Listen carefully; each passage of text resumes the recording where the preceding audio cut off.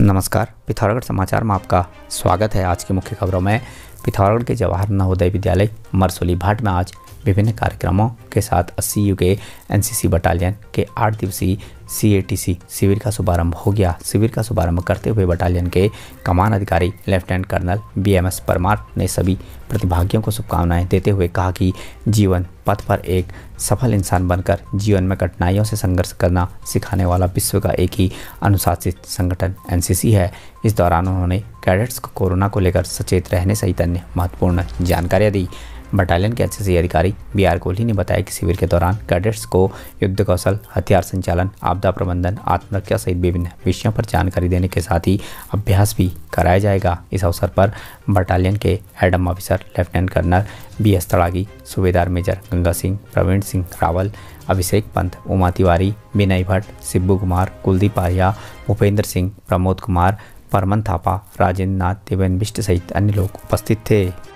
पिथौरागढ़ के खड़कोट स्थित भाजपा कार्यालय में आज देश के प्रधानमंत्री नरेंद्र मोदी की माताजी हीराबेन के निधन पर एक शोक सभा का आयोजन कर दिवंगत आत्मा की शांति के लिए दो मिनट का मौन रखकर प्रार्थना कर श्रद्धांजलि अर्पित की गई। शोक सभा में जिलाध्यक्ष गिरीश जोशी, जिला मंत्री राकेश देवलाल, जिला पंचायत अध्यक्ष दीपिका बोरा, पालिका अध्यक्ष राजन रावत, सहकारी बैंक अध्यक्ष मनोज सामंत, जिला उपाध्यक्ष इंद्र लुंठी गहराज पांडे, मीना बिष्ट, कमल पुनेड़ा वीरेंद्र बोरा, माला सोन, राजेश शर्मा, सुभाष जोशी, अभिमन्यु खत्री सहित कई भाजपा कार्यकर्ता मौजूद थे।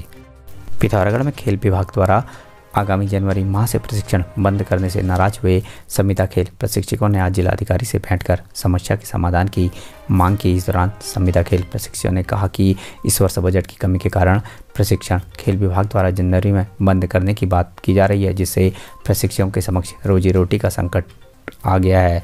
उन्होंने जिलाधिकारी से इस मामले में सकारात्मक कार्रवाई किए जाने की मांग की है। जिलाधिकारी से भेंट करने वालों में मनोज पुनेठा, पुष्कर रावत यति सोजा लीलावती जोशी, देवी चंद, राजेंद्र सिंह, मनोज रावत, सुनील रावत सहित अन्य प्रशिक्षक शामिल थे। पिथौरागढ़ के डीडीहाट में बीते लंबे समय से बंद पड़ी सांदेव। तुरगोली सड़क को अभी तक नहीं खोले जाने से क्षेत्रवासियों को खासी परेशानियों का सामना करना पड़ रहा है। बार बार सड़क खोले जाने की मांग करने के बाद भी सकारात्मक कार्रवाई न होने से गुस्साए क्षेत्रवासियों ने आज डीडीहाट उगला सड़क पर प्रदर्शन कर आक्रोश व्यक्त किया। प्रदर्शन के दौरान सड़क के दोनों ओर वाहनों की कतार लग गई। इस दौरान प्रदर्शनकारियों ने क्षेत्र की उपेक्षा के आरोप लगाते हुए शीघ्र सड़क खोले जाने की मांग की। प्रदर्शन की सूचना पर पहुँचे अधिकारियों ने स्थल पर पहुंचकर प्रदर्शनकारियों से वार्ता की और शीघ्र सड़क खोले जाने के आश्वासन के बाद क्षेत्रवासियों द्वारा आंदोलन समाप्त किया गया। क्षेत्रवासियों ने सड़क खोलने को लेकर उचित कार्रवाई न होने पर उग्र आंदोलन की चेतावनी भी दी है। प्रदर्शन करने वालों में दर्जनों ग्रामीण शामिल थे।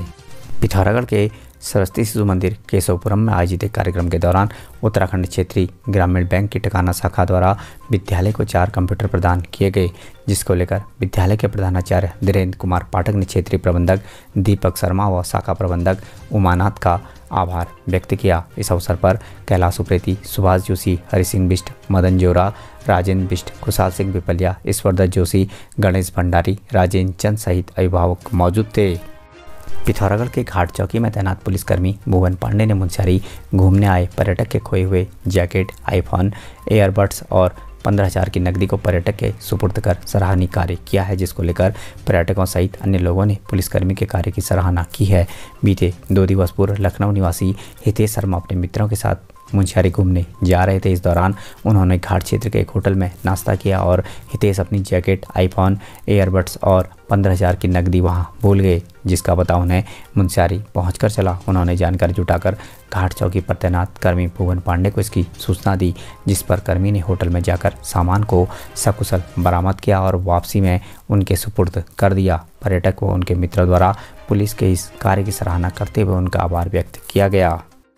पिथौरागढ़ ज़िले में अवैध तस्करी करने वालों के खिलाफ बेरीनाग पुलिस ने कार्रवाई करते हुए 35 लट्ठे बाँध के लकड़ी के साथ एक आरोपी को हिरासत में लेकर अग्रिम कार्रवाई के लिए वन विभाग के सुपुर्द किया है।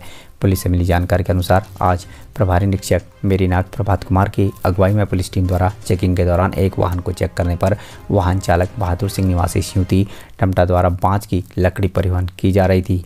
पुलिस टीम द्वारा अवैध लकड़ी को जब्त कर वाहन चालक को हिरासत में लेकर आवश्यक वैधानिक कार्रवाई कर अवैध लकड़ी सहित आरोपी को अग्रिम कार्रवाई के लिए वन विभाग के सुपुर्द कर दिया गया।